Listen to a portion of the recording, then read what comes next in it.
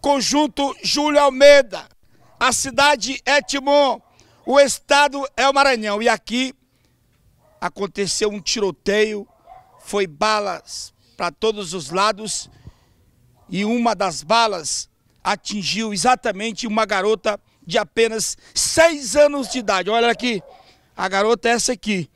Ela ainda está com a bala alojada. Tudo aconteceu quando ela saía exatamente dessa mercearia aqui, ó.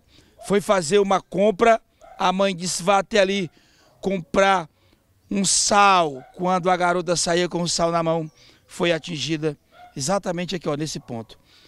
Olha, mãe, realmente é muito triste para uma mãe. É muito triste, velho. Menino, ver minha filha colada aí no chão, toda melada de sangue. Hoje está fazendo 16 dias que ela foi atingida. No dia 20 de outubro. Ver minha filha, daí que ela caiu aqui, daqui, ela entrou. Meu marido pegou. Era muita bala. Muita bala. Dez, foi 10 tiros. E aqui hum, é quase todos os dias. Todo dia aqui tem roubo, aqui tem morte, aqui tem tudo. E ela está aí caminhando com dificuldades, manca ainda da perna, até porque a bala está alojada e ela está à procura de saúde para a filha.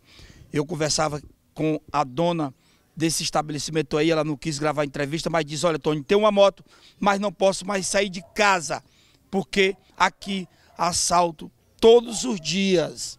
Quer dizer, a pessoa tem um transporte, mas não pode usar.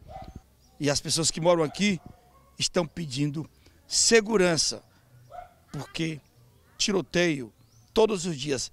A triste história desta mãe que tem uma garota de apenas seis anos atingida com a bala e a bala está ainda alojada na virilha desta criança aqui no Júlio Almeida. Na lente e toda a tela da TV Antena